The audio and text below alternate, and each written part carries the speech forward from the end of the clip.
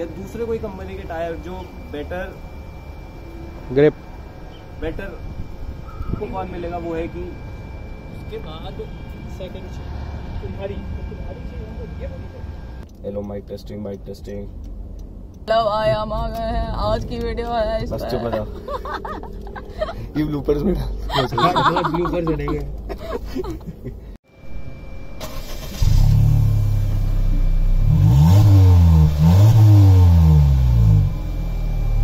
Hello everyone उम्मीद करता हूँ आप लोग बहुत बढ़िया होंगे। तो आज मैं ला रहा एक नई वीडियो तो आज है मेरे साथ होंडा अमेज पेट्रोल वेरिएंट तो आज हम इस इस गाड़ी का रिव्यू शूट करेंगे। देखेंगे कैसी है गाड़ी चलने में, क्या फ्यूल इकोनॉमी देती है क्या क्या फीचर्स है इस गाड़ी में, और क्या क्या बदलाव करेंगे जो इसको पुरानी वाली अमेज से बेहतरीन बनाते हैं।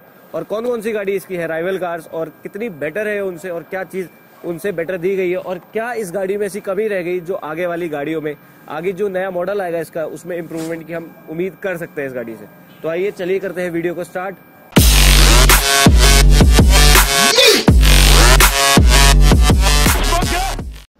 दो गाइस चलिए शुरू करते हैं हम वीडियो को। सबसे पहले करते हैं फ्रंट की बात। फ्रंट से अगर हम बात करें तो आपको रिजेंबल करती दिखेगी अपनी होंडा सिटी से, जो कि एक बहुत अच्छी चीज़ है कि आपको एक प्रीमियम कार का लुक एक आपको उससे एक नीचे क्लास वाली कार में मिल रहा है। अगर हम आगे आए तो यहाँ पे आपको ये पूरा क्रोम का वर्क मिलता है हेडलाइट के ऊपर। आपको इस गाड़ी में जो मिसिंग दिखेंगे वो है प्रोजेक्टर हेडलैम्प्स और डी यहाँ पे आपको अगर आप टॉप वेरियंट की तरफ़ जाते हैं तो आपको यहाँ पे फॉग लैंप्स भी मिलेंगे। और फ्रंट से देखें तो पहले से काफ़ी बेटर ये गाड़ी आपको देखने में लगेगी। अगर अब हम आए इसके साइड में तो आपको इसमें मिलेंगे 14 इंच के व्हील्स और अगर आप टॉप वेरिएंट की तरफ़ जाते हैं तो 15 इंच के अलॉय व्हील्स आपको इस गाड़ी में देखने को मिलेंगे। साइड प्रोफ़ाइल की बात करें तो साइड प्रोफ़ाइल में आपको ये एक साइड मिरर मिलता है जिसमें आपको टर्न इंडिकेटर्स भी मिलते हैं। और ये काफ़ी बड़ा है, बल्कि है तो आपको पीछे का व्यू भी काफ़ी अच्छा दिखता है। साइड से अगर वैसे पूरे लुक की बात करें, वैसे मैं इस वीडियो में ज़्यादा लुक्स की बात करूँगा नहीं, क्योंकि लुक्स सबका अपना एक, अपना ओपिनियन होता है। मगर अगर ओवरव्यू देखें तो काफ़ी अच्छी लगती है। अब हम आते हैं पीछे की साइड तो पीछे की साइड से इतना अपीलिंग लुक नहीं है। मतलब आपको और गाड़ियाँ हैं जो इससे बेटर लुक मिल जाएगा आपको पीछे में। पीछे मगर इम्प्रूव करा गया है, मगर इतना अच्छा नहीं है। तो आपको यहाँ पे मिलते हैं रियर पार्किंग सेंसर्स भी, जो कि आपको रिवर्स करने में गाड़ी में हेल्प करेंगे। तो ये तो हो गई लुक्स की बात। तो हम चलते हैं गाड़ी के अंदर और देखते हैं अंदर गाड़ी में आपको क्या क्या मिलता है, क्या चीज़ें हैं। कैसा स्पेस है, सब कुछ अब बात करते हैं। अब आए हम गाड़ी के अंदर। घुसते ही आप देखेंगे कि आपको सीट एडजस्टेबल यहाँ मिलता है। सीट ऐसे इसका एंगल चेंज करने को मिलता है आपको। आपको डेड पेडल नहीं मिलता है कि जहाँ अपना फुट रेस्ट कर सकते हैं जब आपका पैर क्लच पे नहीं है। गाइस कर लेते हैं अब गाड़ी को अंदर से कैसी दिखती है बात। पहले करते हैं गाड़ी को स्टार्ट आपको कोई क्लच दबा के गाड़ी को स्टार्ट करने की ज़रूरत नहीं है। आप बिना क्लच दबाए भी गाड़ी को स्टार्ट कर सकते हैं। इस गाड़ी के अगर आप टॉप वेरिएंट में जाएँगे तो आपको एक पुश बटन स्टार्ट भी मिलता है, आपको एक यहाँ पे एक टच स्क्रीन भी मिलता है, जिसमें आपको एंड्रॉइड ऑटो ये सब फैसिलिटी मिलती है। तो ये टॉप वेरिएंट से नीचे का मॉडल है एस वेरिएंट है तो इसमें आपको इन्फोटेनमेंट सिस्टम मिलता है, जो कंपनी फिटेड ही है, मगर बस टच स्क्रीन की फैसिलिटी नहीं है ब्लूटूथ वगैरह सब आपको यहाँ पे मिलेगा। अगर यहाँ एमआईडी की बात करें तो एमआईडी भी आपको जब आप टॉप वेरिएंट की तरफ़ जाएँगे तो थोड़ी अलग मिलती है, उसमें ज़्यादा फीचर्स मिलते हैं आपको। उसमें आपका इंस्टेंटेनियस फ्यूल इकोनॉमी भी आपको देखने को मिलेगा। यहाँ पे ये आप देख सकते हैं कि आपकी ट्रिप की ट्रिप बी में कितना फ्यूल इकोनॉमी मिला? रेंज क्या है आपकी? आप यहाँ पे अपनी क्लॉक सेट कर सकते हैं, यहाँ पे आप अपना फ्यूल भी देख सकते हैं कितना है। और गाड़ी कितने डिस्टेंस चल चुकी है? यहाँ आपको मिलता है टैकोमीटर यहाँ आपको मिल गया स्पीडोमीटर आपको सीट बेल्ट रिमाइंडर की वार्निंग लाइट मिलती है पार्किंग लाइट आपको ज़रूरत है उसकी। तो अगर हम यहाँ पे डोर्स यहाँ पे स्टेयरिंग की बात करें तो स्टेयरिंग पे आपको ऑडियो कंट्रोल्स मिलते हैं। आपको अगर आप टॉप वेरिएंट पे जाएँगे तो यहाँ पे आपको क्रूज कंट्रोल भी मिलते हैं, जो कि एक अच्छी चीज़ है कि आप मतलब कहीं हाईवे पे जा रहे हैं आप अपनी स्पीड लिमिट सेट कर दीजिए उस गाड़ी पे अपने आप आपकी इस गाड़ी चलती रहेगी।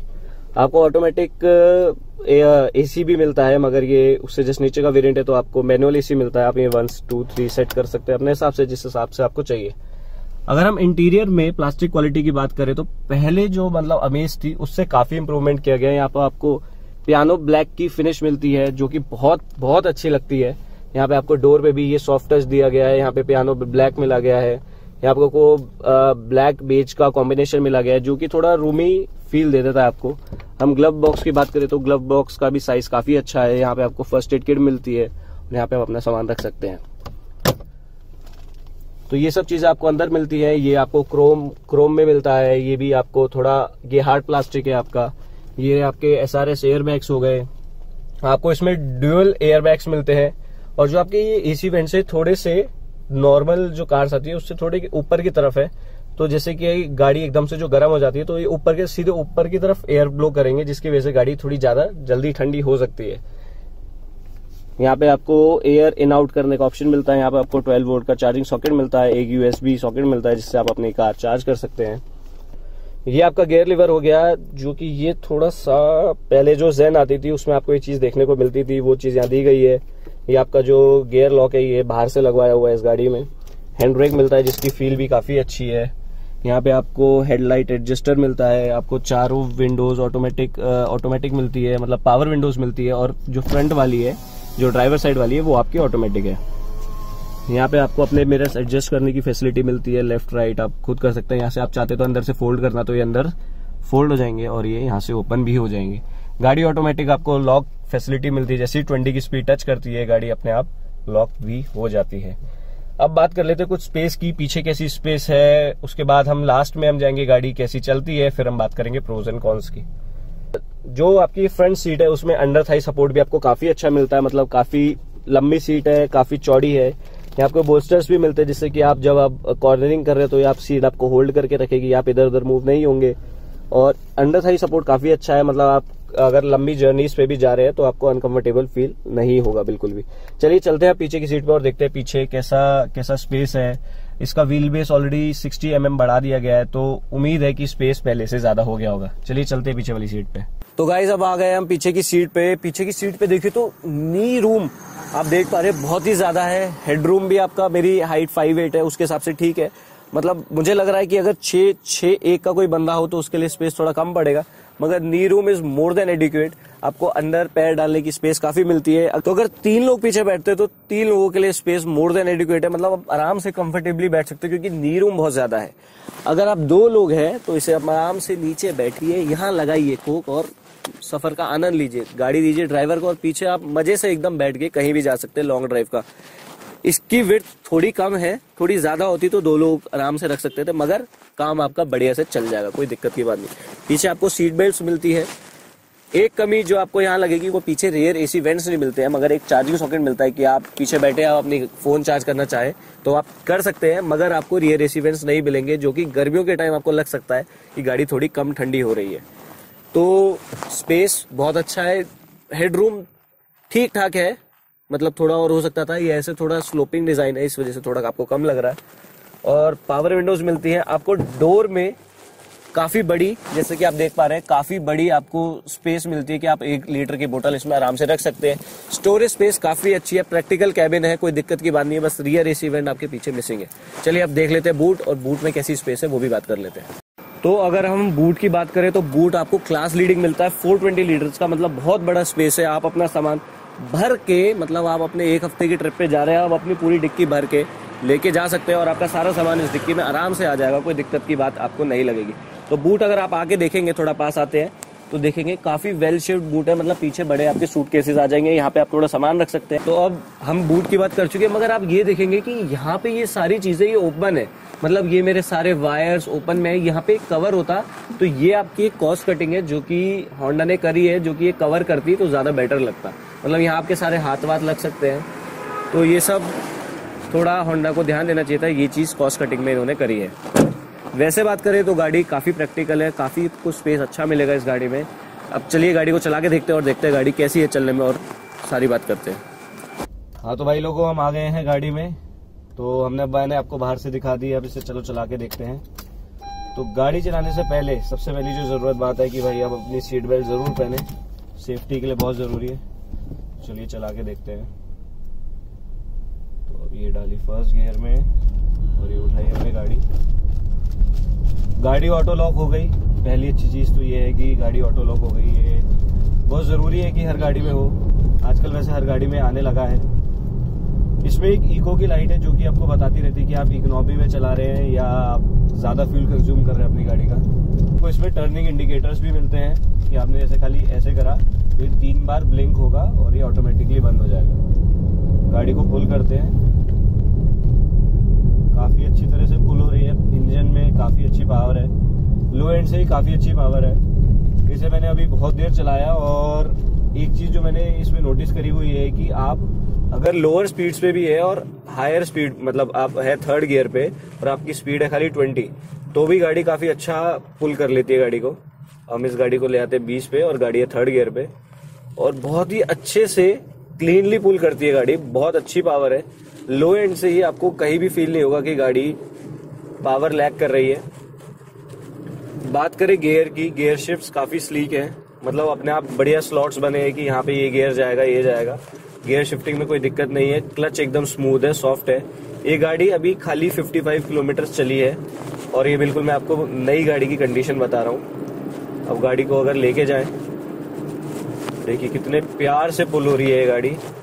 ये लगा पांचवा गियर और फ्यूल इकोनॉमी भी काफ़ी अच्छी मिली थी। जब अभी हम इसे चला रहे थे तो सिटी में चला रहे हम तो चौदह, साढ़े चौदह की अभी फ्यूल इकोनॉमी हमें मिल रही थी आराम से। तो वो इसलिए था कि हम कॉन्स्टेंट स्पीड में चला रहे थे, मगर अगर आप चलाते हैं सिटी में तो आपको 12 13 का सिटी में मिल जाना चाहिए और एवरेज और अगर हाईवे पे जाएँगे तो 17 18 का एवरेज कहीं नहीं गया है इस गाड़ी से। सस्पेंशन की बात करें सस्पेंशन एकदम परफेक्टली ट्यून्ड है। आपको स्लो स्पीड्स पे गड्ढे बिल्कुल भी फील नहीं होते गाड़ी के अंदर। और स्टेयरिंग की बात करें स्टेयरिंग जब आप लो स्पीड्स पे है तो काफ़ी लाइट रहता है। मतलब आपको मोड़ने में कोई दिक्कत नहीं है। और जैसे ही थोड़ी आप हाई स्पीड गेन करते हैं तो एक वेट आ जाता है, जो कि आपको स्टेबिलिटी प्रोवाइड करेगा हाई स्पीड्स पे। तो हाई स्पीड पे चलाने पे कोई दिक्कत नहीं है, गाड़ी एकदम स्टेबल रहती है। बस एक चीज़ जो मुझे फील हो रही है कि टायर से थोड़ी कम ग्रिप मिल रही है इसमें। टायर्स थोड़े बेटर हो सकते थे, जैसे कि आप किसी कर्व पे मोड़ेंगे, जैसे अब मैं यहाँ मोड़ूँगा। अगर थोड़ी स्पीड में मूव करो तो पता लगता है कि टायर ग्रिप लूज कर रहे हैं। और गाड़ी के टायर अगर स्पीड में मूव करोगे आप तो आवाज़ करने लगते हैं। तो वो थोड़ी ग्रिप लूज करने लगते हैं टायर। बात करें ब्रेकिंग की।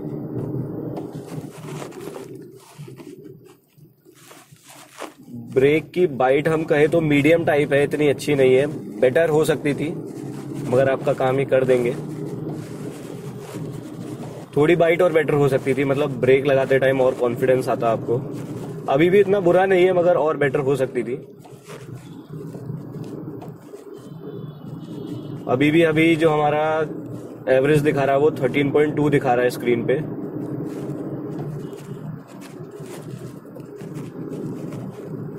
सस्पेंशन काफ़ी अच्छा ट्यून करा गया है। मतलब अच्छा लग रहा है। स्टेबिलिटी भी है। आपको बम्प्स भी फील नहीं हो रहे इतने। राइड क्वालिटी अच्छी है गाड़ी की। मतलब मज़ा आ रहा है गाड़ी को चलाने में। स्टेयरिंग पे अगर आप लेते हैं तो आपको ये कवर चढ़ा ले तो सोने पे सुहागा है। ये थोड़ा आपको इतना अच्छा फील नहीं देता है। मतलब अगर आपके गर्मी में चला रहे हो, थोड़ी स्वेटिंग की वजह से ये स्टेयरिंग स्लिप होगा।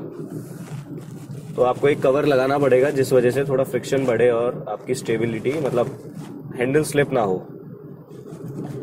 ले यहाँ मैंने थर्ड गियर पे ये पुल ओवरटेक अच्छा जो मैं बात करना भूल गया, वो है गाड़ी की नॉइज़ गाड़ी ढाई तीन हज़ार तक आरपीएम तक बिल्कुल शांत है मतलब आपको गाड़ी स्टार्ट होने से लेके ढाई तीन हज़ार आरपीएम तक बिल्कुल चूकी आवाज़ नहीं आती इंजन की।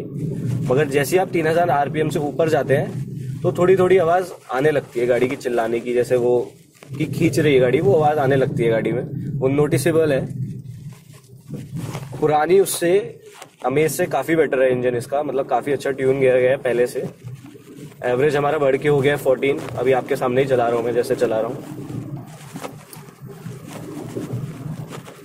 तो चलाने के मामले में मतलब आपको गाड़ी स्पेस तो देती देती है। चलाने में भी अच्छी है गाड़ी सिटी हाईवे स्टेबिलिटी सब मिलेगी आपको इस गाड़ी में।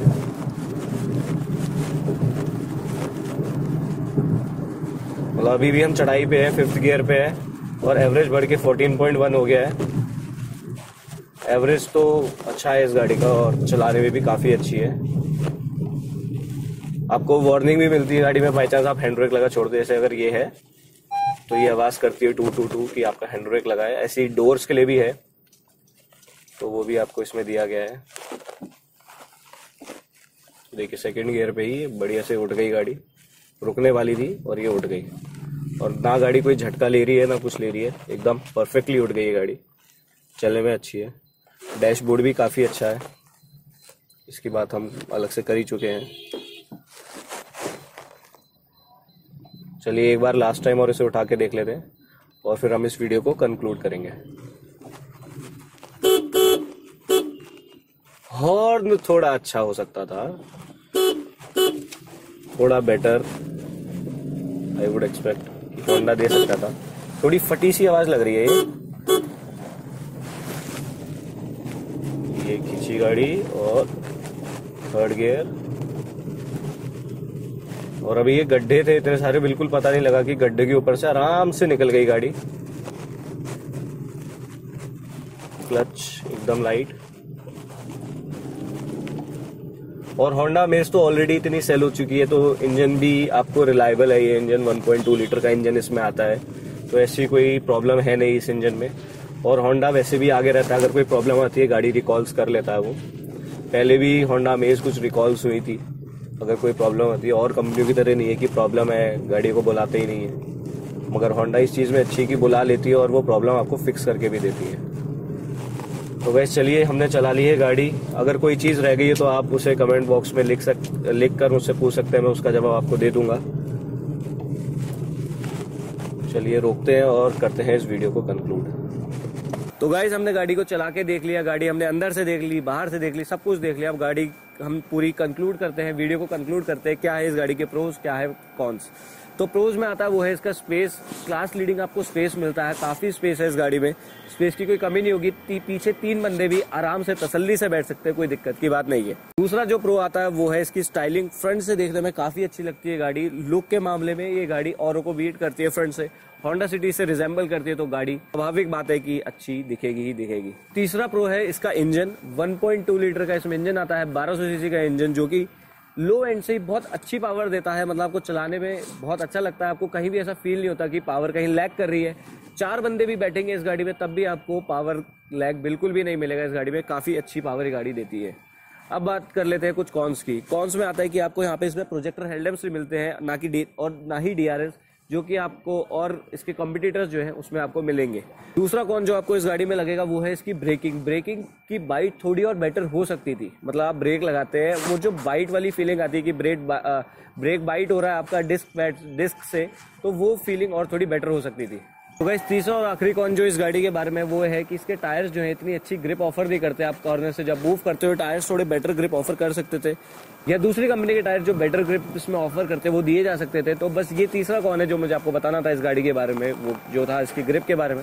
तो गाइज़ यही थी होंडा में इसकी वीडियो होंडा में इसकी वीडियो पूरी खत्म हो चुकी है। इस वीडियो के लिए इतना ही था। उम्मीद करता हूँ वीडियो आपको पसंद आई। पसंद आई तो प्लीज़ वीडियो को लाइक कीजिएगा शेयर कीजिएगा और मेरे चैनल को सब्सक्राइब करना ना भूलेगा और बेलाइकन ज़रूर दबाएगा जिससे आपको मिले नोटिफिकेशन सबसे पहले। और आपके मन में कोई भी सवाल और हमें से लेके आओ उसे आप कमेंट बॉक्स में लिख सकते हैं, उसका जवाब मैं जल्द से जल्द आपको दे दूँगा। और आप मुझे इंस्टाग्राम पे भी फॉलो कर सकते हैं। इंस्टाग्राम में फॉलो करने के लिए आप लिखिए शिवम गुप्ता ब्लॉग्स और वहाँ आपको मेरा इंस्टाग्राम हैंडल मिल जाएगा। और वहाँ जाके मुझे लेटेस्ट अपडेट्स के लिए फॉलो कर सकते हैं।